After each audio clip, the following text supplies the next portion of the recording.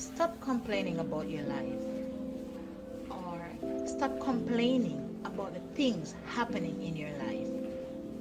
Things are happening in your life, yet still y'all do nothing about it. But if you want your life to change, it's a big difference. You gotta make a decision. You gotta say enough is enough. It's like complaining about being cold, but still did nothing about it. It's not everyone but it will also help people to see that they also need the change. It is time for you to move away from the place you're at today. It's time for you to stop blaming everybody else for your situation and accept your situation. Get up, stand up, and make that change.